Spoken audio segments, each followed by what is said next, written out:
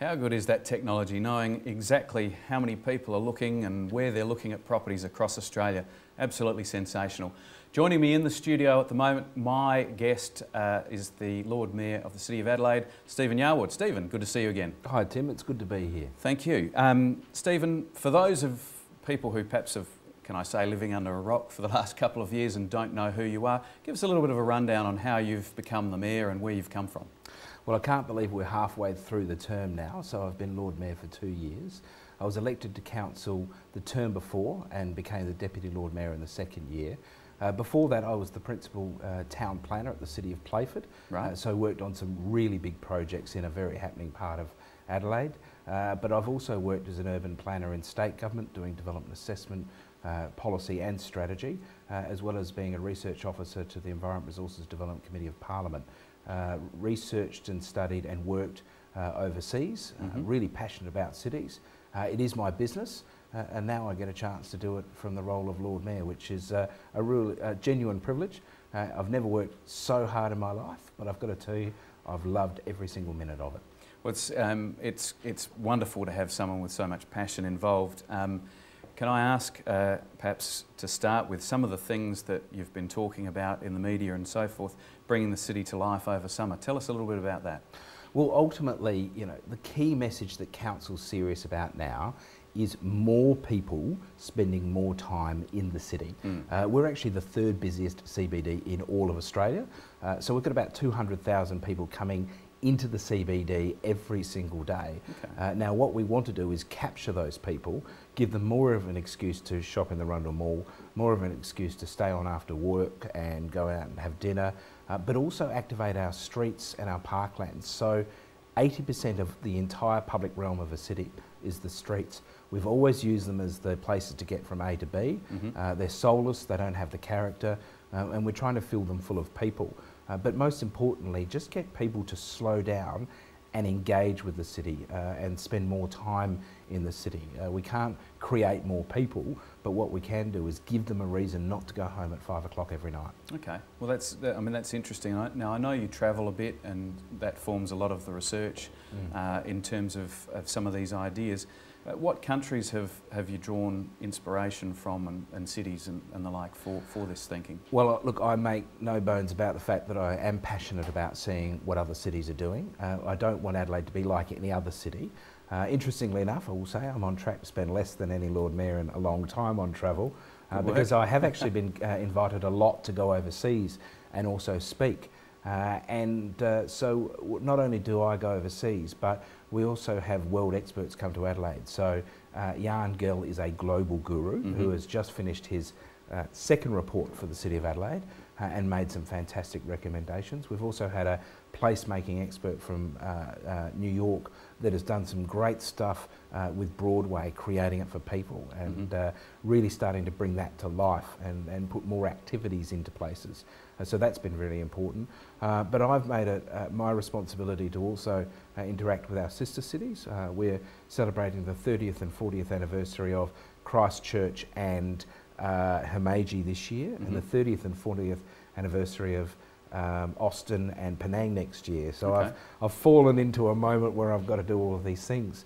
Um, Christchurch is an inspiration uh, because they are using temporary activation uh, because 80% of their CBD has to be demolished. Yes. Yeah. Uh, so that's in a way has been interesting.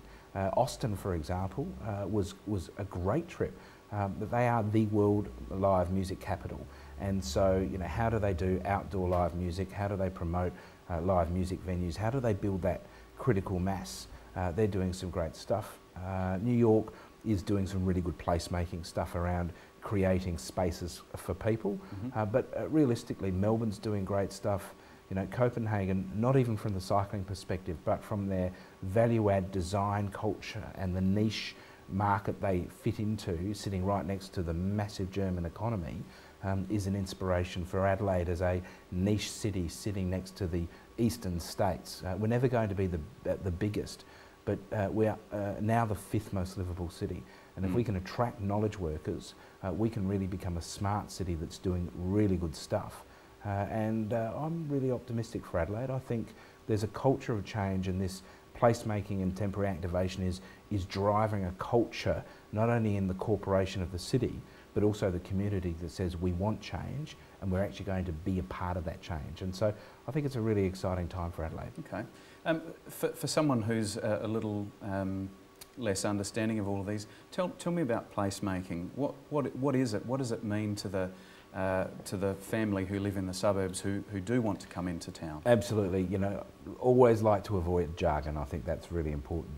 Um, placemaking, I guess, is getting the council administration uh, to focus less on procedures and processes mm -hmm. and get to them to think about the actual place that they're trying to create things. So start to see it from other people's perspective. It's also about engaging small business, helping them create experiences in the place. Probably the best example is this notion uh, that uh, we've been taught about, um, the power of 10. You know, a city needs 10 precincts. Each of those precincts need 10 places and each of those places needs 10 things to do. Right. Uh, so, you know, whether it's uh, outdoor dining, whether it's stopping to appreciate some art, uh, whether you can grab a coffee from a little coffee cart, uh, whether you have a, a, an interesting uh, opportunity to interact with people because there are tables and chairs and benches. Uh, you know, there might even be a sort of a second-hand bookstall or, or uh, a garden there that's pleasurable, mm. Uh, or buskers and live music. So this sense of urban planners have been very good at creating a canvas, or councils, but they've never been good at creating content and uh, delivering a system where this council, the residents, the small businesses can actually own that place mm. and make it an interesting place so that instead of everyone competing to draw people into the businesses, you're actually working together to draw people to that place, slow them down and actually give them an excuse to stay there. And when that happens, you have people. And when you get people, you have thriving businesses, you have thriving communities. So it's all about thinking about people and getting them to enjoy environments. And, and once again, it's about more people spending more time uh, in nice places that they want to be in. Mm. Well, speaking of nice places, a bit of passion of mine is the, the banks of the Torrens, um, which I personally think is way underutilised in terms of mm. all of those things you're just talking about. Uh, what, what's your position and, and, indeed the council's position on uh, either permanent or semi-permanent sort of um, cafes, even coffee vans, uh, the little um, spot that you can buy a pie or, a, mm. as you can in New York, a, a bag of peanuts or a, or a hot dog or something like that um, along, the, along the banks? Well, not only the banks but also our squares mm. have always been underutilised. So, know, Victoria Square is 49% roadway, yep. uh, and other squares are upwards of 30 or 40% roadway, and they haven't really been places where people have wanted to go. Uh, so the temporary activation of the placemaking also includes those food carts. Uh, you would have seen an explosion of those over the last couple of years, uh, and I, I would say you should expect to see more. Uh, the businesses that are doing it are doing really good trade, and we're also waiving fees, streamlining the process. Uh, the City of Sydney is now copying the work we're doing, which is good news. Excellent. Uh, and so we've seen Victoria Square or Hindmarsh Square uh, uh, be populated with people who are outrageously sitting around on the grass dining and mm. having, having their lunch. Mm. Uh, and so we'd really like to do that with uh, the riverfront as well. So we are experimenting, we're getting great feedback, uh, and I expect you'll see more. We're also hoping to upgrade the the the, uh, the cafe in Bonython Park next to Excellent. the playground. Yes. Yep. Um, I would love to get a liquor license. Wouldn't it be great to be able to sit back and have a glass of wine mm. uh, while you watch your kids play on the playground. Mm. I, I, don't think there's any better, do you? I think it's great. so those sorts of things I think are, are really important. And uh, so we really are now focusing on not just building stuff, but providing the content which is going to bring people. So Barrio is a great example for the festival. You know, that hijack plaza, that uh, festival plaza, dead all year round. Mm. The moment you provide content is the moment people flock to these places. Absolutely. Uh, so council's really about starting to curate a city which gives people permission to do things in partnership with council uh, to make the city a, a, a, you know, a more vibrant place. And do you feel like um, with these thoughts in mind you've got uh, a majority of support behind you? Yeah, look, you get all kinds. I know that uh, we will have to learn because there is a challenge with residents. Um, but then again, most of the places we're trying to do are at the public places.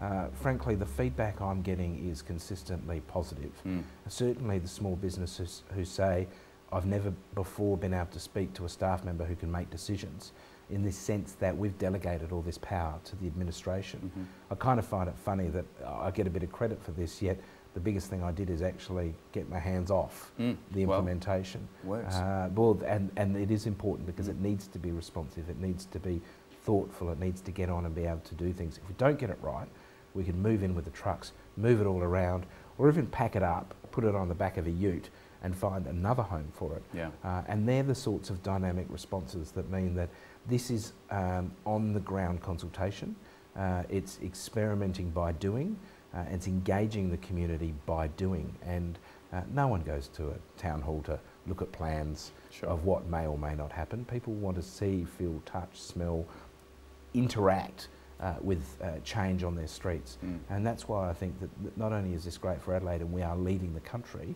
uh, and I'm really proud of it. I think that's an Adelaide culture, um, but also I think we're doing something of global significance that uh, the world will be watching and we can export these ideas uh, to other cities to get the same sorts of positive outcomes. I think, I think we're, we're leading uh, the world in terms of reimagining and changing our city. Excellent. Well, stay with us because I've got uh, development plan uh, amendments to talk about, the Sturt Street uh, Affordable Housing pro mm -hmm. Program and uh, speed limits to uh, ask you about shortly. Sure. Now we're going to go and have a look at our Going, Going, Gone segment.